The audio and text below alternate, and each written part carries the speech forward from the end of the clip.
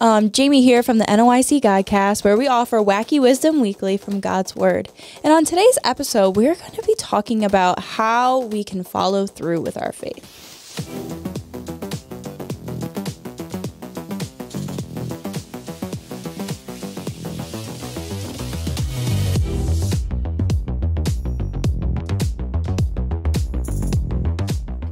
I think that we can all agree that as humans, we have a really hard time trusting like anything. Um, when we go to any fast food restaurants, uh, especially their drive-throughs, what's the first thing that you say to your passenger as you you know shut the car window? You're like, "Have a good day." You're like, check the bag. Honestly, no, I don't even check anymore. I just pull in, just goes right expecting disappointment. You're just like, the Lord knows The what I Lo- need. Order blindly. No, like I. He just pull starts in- walking on the inside I already. pull into the parking lot expecting to be disappointed. Yep. Like I don't even expect them to get it right, even after asking. Like no, it's just So do you be take it back if it's right? No, Like, sorry, yeah, you did mess up. excuse me. I was expecting extra burgers. But because we know that they're, Why did you just assume it was burgers? because they're always burgers. Could be Taco Bell. That's wrong. I mean, what if you were expecting burgers from Taco Bell? then you are the problem. Man. But like, Jenny actually did that. This is still total side Okay. Jenny actually did that once. I ordered no. a pizza for us, and she went to the wrong pizza place to pick it up, and she argued with them, so they give her free pizza. All the while, our pizza that we didn't pay for I was at the remember other that. place. It was like East of Chicago yeah. and and Marcos, I Marcos, think. And she went to one convinced, and th- they're like, "Oh, "We're so sorry, ma'am. Give us a free pizza." And then Wow. come to find out, we stole it because we ordered a pizza somewhere else. when I uh, was a shift manager at McDonald's, like whenever someone came in with Mm-hmm. a bag, all the other managers would just like instantly like, "Oh, I gotta turn my back." yeah, yeah. yeah, I feel that as a believe that. customer. Yeah. Yeah, that's I'm like, exactly I, I they assumed you were trained that way. no, then they all just turn their back, and They just I really was- catch up. You know what I mean? They didn't need anything. They just wanted ketchup. Exactly. Yeah. So I mean, Just want to say thanks for the burger. Yeah. I don't know. There's no American getting out of their car to come say thank you. That's true. That's true. it's- yeah, that's true. But we know that they're so notorious for getting the food wrong. Like either the completely wrong order or they put like nothing in there that was actually yours to begin with. And so, you know, and that makes sense. And that's okay to like not trust them because like they're strangers. Their reputation has. Yeah, there's- there's- yeah. Work at McDonald's. They work at Let's all just be McDonald's. honest where they're working. They're They're working working at at McDonald's. McDonald's. And so like they don't care about you. They don't care about your nutrition. That's right. they are just there to get a paycheck. And so Wow. Only that. but how- That was mean. Did I mention I'd call Really piling on fast food workers. Like, Listen, I worked fast food. I loved food service. is it fast food? Is the I frog mean, it was food? mediocre speed, It's but like it's like slow, fast, Slow It wasn't food. sit down. yeah, medium. it wasn't sit It was down. just So therefore, order. medium. I Unless Linda was remember- there, then it was sit down because she would tell them to go sit at the table I and feel she'd like bring we're it getting distracted. You Oh, yes. shouldn't talk about food in the podcast. I was uh, going through the drive-through at the McDonald's in Bellevue, Mm-hmm. Don't do that. and they had like a, a big plastic turtle on top of their like machine thingy. I don't know Uh-huh. what machine it was, and I was like, "What is that turtle there for?" And she goes, "Because we have the slowest, the slowest drive-through times in our region." See, Bellevue. Yes, that's Yeah, right. That's funny. but when I was in, That's great. when I was a shift manager, I was like, "Get it right versus get Yeah, it fast." yeah, See, yeah. yeah, yeah, Yeah, true that. I'd rather You know wait what I ten mean? minutes if my food's right than wait five fries. minutes and it's ten nothing. minutes. Hot Think fries about- are worth the time. Right, yeah, Yeah, that, is, exa- that needs to be on a T-shirt. Glory. But I was just thinking, like, wow, you guys have to like That's cruel and put that up unusual there and like wonderful. like- yeah. I mean, that's motivation, I guess. I'm I'm trying to figure out how I can use that against our teams at camp. Mm. Ooh, Like where can they I have put a carry around a turtle? turtle. Yeah, I real will one, think of a like, way. like a real tortoise. turtle. Just a bunch of turtles walking around the campsite. Put a leash on him. But so that makes sense. You know, I mean, those are strangers. They don't care about you. They don't care about You your said that already. nutrition. I know, but I'm trying to bring it back. Okay. I'm trying to fix whatever was just fixed. Try harder. And so, but like, have you ever been sitting on the couch trying to find um, the remote to watch your show and you ask your spouse or loved one, "I- Are you sitting on the remote? And they say, Nope. And this person that you have trusted your whole life This with. sounds so personal. Yeah. It does sound very personal. You've trusted your whole life with that you would die for, that they love you so much. you still be like, no, you need to stand up because I don't know if it's not. beh- I don't know if it's underneath you or not. You don't trust them. It doesn't matter how But it much was they in love your you. pocket the whole time. Tolkien usually shoves it under the couch. it's usually under the couch, under a rug. So it's fine. But you don't even you can't even trust the people that you love so dearly to, you know, they, they don't have the remote. And it's usually under their butt though. Let's be real honest here. But wait, is is that you not trusting them Or them being dumb? No, because like I think in those situations, like you guys may say to a significant other, "Are you sitting on?" it?" And they go, "No," and you're thinking, "Can you just check to make sure?" And like you're really not saying you are sitting on it, and I know it, Mm-hmm. but you're more saying like like for yourself. You know what I mean? Like I have never sat on a remote and not known it. Like, how's I that have. possible? How do you not feel that? I like, have am I sat missing something here? I've sat on Rachel and not known it. I gotta be. TMI, too much. That's not. Rachel's like, I noticed. I noticed. It's usually when we're trying to sit back down in the pew Yeah. and everything's That's jumbled. fair. That's fair. But a remote, like, I would feel that. I'm a little concerned about your loved ones. and then Rachel's usually like, I'm sitting here. As I peel her off. yes, yes. Honestly. That's something of you guys' problem. I don't is, think that's most of honestly. America. I think that's an every best friend's problem. So you guys don't have best friends apparently. Um, but like we talked last week, um, to have audacity is to have faith in God. And to have faith in God, by definition, means that you completely trust God. And I would say that Christians as a whole would say they trust God completely. They would say it and that they're willing to uh, they're willing to understand that God's going to answer them in their prayer. But do we have the audacity to not only ask, but to follow through with the answer God gives us? So Matthew 14, 22 through 29 says, And straightway Jesus constrained his disciples to get into a ship and to go before him unto the other side, while he sent the multitudes away. And when he had sent the multitudes away, he went up into the mountain apart to pray. And when the evening has was come, he was there alone. But the ship was now in the midst of the sea, tossed with waves. For the wind was contrary. And in the fourth watch of the night, Jesus went unto them, walking on the sea. And when the disciples saw him walking on the sea, they were troubled, saying, It is a spirit. And they cried out in fear. But straightway Jesus spake unto them, saying, Be of good cheer, it is I, be not afraid. And Peter answered him and said, Lord, if it be thou, bid me to come unto thee on the water. And he said, Come. And when Peter was come down of the ship, he walked on the water to go to Jesus. Now, if we stop the story right there, we would be like, wow, Peter was so audacious. He had so much faith that he asked Jesus to make him walk on water. And not only did Peter ask, he got the answer and then he stepped out of the boat onto the raging sea. I yeah, I know I've seen so and I'm like, I've skipped it. I thought we were doing fine. Nope, you're not getting away with it that easy. I was typing it on my phone, so oh, it's a whole thing. Yeah, that's a whole foul. I mean, how many of us would have even done that much? How many of us would have asked that in the first place? I mean, I don't know about you, but like when I'm trying to identify somebody, I'm not like, hey, let me walk on the water. I need like a driver's license or like a birth certificate. Do you do that regularly? Yeah, like, who are you? But like, that's the thing. It's like, Strangers walk up to Jayme. Stop. Two forms of ID, please. like, I need a passport. you have no do you do you have like a bank statement with your address on it? But like that's the thing is that Peter could have asked a bunch of questions that you know Jesus could have only known or anything. But Peter had faith that it was Jesus, eh, that if it was Jesus, he would be able to make him walk on water. So the audacity. I, I don't know where you're going. You're good. You're good. We're trusting you, David. uh, but Peter had the audacity to, like, yes, he, he wanted to go where Jesus was. He Yeah, asked, yeah, who, yeah. who are you? But he had the audacity to want to be near Jesus. But the, the audacious part was for him to ask God to get him to Jesus, Yes. Mhm. regardless of what it took between here and there. Does Yes. that make sense? And so Yep. for our life spiritually, like, I'm going to guess, like, folks, listen, if you see Jesus walking on water, don't. Um, he doesn't. He's not here. He's not going to do that. Like that. No, don't. Like, don't believe it. Yeah. You'll seek. Yeah. Um, but the fact is, spiritually, God does want us to draw near to Christ. Mm-hmm. I don't remember if we talked about last week or when we talked about, but draw near to God and He'll draw nigh to you.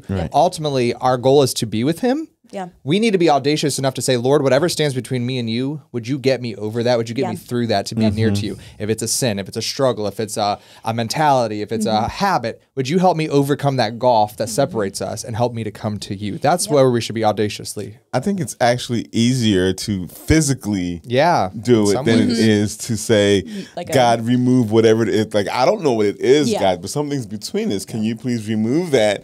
And then he goes, It's that. And we're like, Not that. Not that. Put that thing back where it came from. So help me. You're pointing to this, right? I didn't you? think you mean that, right? Put it behind you. You know what I mean? So, like, it's, it's just like we're so limited Yeah. in our understanding of God's ways. You, you know Well, and I, mean? think that we're we're willing, like we've been talking about audacity this month. We're willing to be audacious when it's to our benefit, but when it's going to Yeah. be painful and hurtful, like how many of us are willing to be audacious then? Yeah. We heard Yeah. this morning in the message about, uh, actually in Sunday school and the message about just Double whammy. God's out to get you. Like He just wants to cut you away, rid you of you. Like Amen. That's the Bible. And yet, how many of us are audacious enough to ask Him to do that? Yeah. Not when it's to benefit, but when it's actually going to be very painful, but Yes. ultimately draw us near it's to just funny Christ. how how our minds work because like if I was to say to you like all right Josh like whatever you need to remove from me do it but beforehand I'm gonna double check Yeah. you know what I mean okay like anything that I really really want I'm not taking into this conversation like you know what I mean like Yeah. it's staying in my bedroom like you won't have the option for that you know so what like we may even like we don't even ask God to do that until we're at a point Mm-hmm. where we think, you know what I mean? It's going to be something so minor. You know what I mean? Or, or he's going to say, "You did pretty good." Yeah, like you, yeah. know, you know what I mean? But it's always something like right in our face that we're just like, "Oh, that thing." I really do think that we believe that we're doing a pretty good job. Like I really do believe when you bring something to God, you're like, I've fixed most of this. Mm-hmm. I did most of this. Give me Yeah. the golden star. Yeah, give me the gold star, or like you can fix the little bit. Like it's like when you hand something to an editor, you don't expect him to actually hand it back. Oh, like they always do. They Yeah, always do. But you're always like, they're gonna think it's great. Do you know what I mean? And then you're mm-hmm. like, they get the paperback, you're like, oh, I guess I have messed up a lot of that stuff, you know? God just kind of takes your cotton bills in the trash. yeah, he's like, that was dumb. Quote unquote. I'm, I have to imagine that that is said respectfully. It's gonna be our camp shirt next year. that was dumb. That was dumb. Quotations. God. yeah, We're gonna have a lot of camp shirts. We, we are, yeah. this has nothing to do with this, but have you ever seen the? Um, it obviously it's a scam. I don't know if you guys know this, but there's a Bible out there and it says signed copy. Yeah. What? I'm like, um, I don't think that means what you think it means. But anyway, so we're actually going to finish on because I know that, you know, ending the story there would be like, oh yeah, this is a good thing. But we're going to have to continue because God gave us the rest of the story. Um, Matthew 14, 30 through 33 says, But when he saw the wind boisterous, he was afraid. And beginning to sink, he cried, saying, Lord, save me. And immediately Jesus stretched forth his hand and caught him, and said unto him, O thou of little faith, wherefore didst thou doubt? And when they were come unto the ship, the wind ceased. Then they that were in the ship came and worshipped him, saying, Of a truth thou art the Son of God. Peter had the audacity to ask, to take the step, but failed to follow through. How many times in our lives have we prayed and prayed for God to give us an answer? And when we finally get that answer, we trust God and we take that first step towards Him. But once we take that step out, we see all the things stacked up against us. And suddenly, all the audacity that we had in asking and taking the step completely vanish. We start to wonder if we can even trust God. And just like Peter, as soon as we realize that we're sinking, we cry out to God for help. And He reaches down and grabs us and asks us, Why did you doubt in the first place? And I actually wanted to bring up the point you were talking about. It's the getting there, like you see Jesus and you are trying to get there. That's the audacious that you want to be, no matter what's the in between. Mm-hmm. I think a lot of times it's easier to say that when you're looking at the problem. Like when you see, like, Peter's seen the storm before he asked. Mm-hmm. He's seen that, you know, this between here and here, there's a lot of this, but he didn't doubt until he was in the middle of it. And so it wasn't the fact of the storm itself on a whole view. Oh, like I know I need to get through that storm. It's the once you're in the middle and you don't have anything else to hang on to. He had to let go of the boat to be able to get to Jesus. And so he didn't have the whole like, let me just hang on here and then walk out here. Yeah. Jesus was too far. Right. He had to completely let go of the ship to be able to walk that way. And so I think that's where we actually fail is we think, oh, that problem doesn't seem that big until you're right in the middle of it. And then you're like, oh, yeah, that's a lot bigger than what I thought it was going to be. um, there are a lot of unknowns in life, but we serve a God that sees everything from beginning to end continually. He doesn't see the parts one at a time and has to remind himself of what's going on. He sees everything all going on at the exact same time we can trust God that He is not only going to give us the answer, but give us the ability to fulfill the answer. Mm, good stuff. God calls us to be audacious. Be audacious from start to finish. That is so hard now. It is. Does anybody have anything fun to say? Fun? No? Okay, cool. So my considerable quote, I'm sure somebody said it. always, it's always I always presume that, don't the you? funny thing is, is that I always assume somebody says it, but it's never marked at the bottom. So like, I just don't. I'm sure somebody said this somewhere. Faith is not believing in my own unshakable belief. Faith is believing in unshakable God when everything in me trembles and quakes. And then my featured content today is Revelation by Third Day. It's an oldie. That is an older. That's like way back there. I actually just heard it. Um, was it yesterday or the day before? And I actually hadn't even wrote it down on here because I was waiting for something on there. I'm like, yep, nope, that's the one that's coop, coop bloop right in there. Coop loop. End quote. You guys are definitely best friends. yeah, we are. You, You guys speak on jujitsu. file. Tell me I'm wrong. sound effects file. You use that one again? Yep. Okay. Yeah, basically. Um, trivia. We did some. Was it you? There was an answer, That's a good one. and Oh, it was um, how many is something in yeah, the Bible? and no one got it right, and we'll just leave it at that. Wow. He told me, mama, mama. he used to just remember. She can't read lips. I can't read. Could you say into the microphone? so no trivia. Then congratulations. So the trivia for this week. When is the fourth watch of the night? I think the answer was 133, but I'm not super positive. For the fourth watch of the. For this one? No. For how many times? You the could look it word- up. I don't even know what the word was that we were looking for. Was it? How many times the word something was in the New Testament? think you- Ask. Is it ask? I don't remember. It doesn't matter. Wow, that's a lot of birthdays. It's a lot of birthdays. but Mine's not on there. It is Yeah, it now. is. no. Yeah, oh, it CJ is. put it on there. Oh, See how there's missing one? As a because missing they're all the date. same. Mm-hmm. Uh, CJ's doing it. Dun, dun, dun, So is dun, the dun, dun, the one that looks different than the other answers? It wasn't supposed to be that way, but yes. I don't know what happened. Like, Yes. 133. I'm not crazy. I was right. So the answer is A. A. A. 133. good, good. Okay, now we continue to Good. this week. So, when is the fourth watch of the night? A, 6 p.m. to 9 p.m. B, 9 p.m. to 12 a.m. C, 12 a.m. to 3 a.m. Or D, 3 a.m. to 6 a.m. Don't say anything. Gasps. I, okay. Don't say anything. All right. Because you, I mean, you said the fourth watch and their fourth four choices. So, But that doesn't mean they're in the right order. but you did put them. You can't say things. I'm just saying.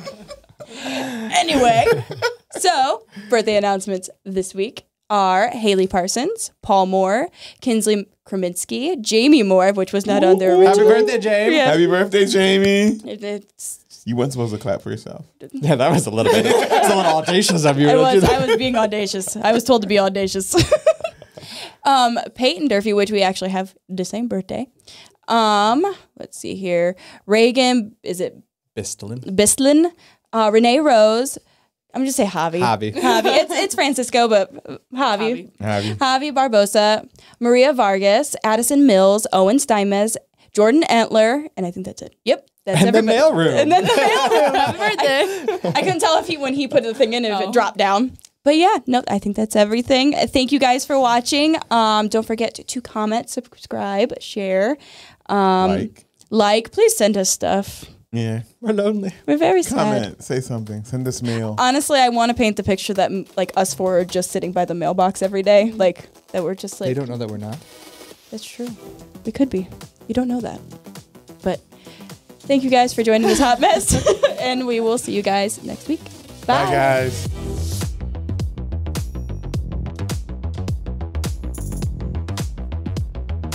I don't. u- I have not paid for any subscriptions. Well, we finally know who the sap sucker is at the table. Me. Me, I was the sucker of sap all along. I was the turkey. all And there it along. is. CJ's already smiling. You're welcome. I made it easy for you this week. Listen, I'm glad he wasn't recording whatever we were doing earlier. We gave some good advice though. We did. We gave some really good advice.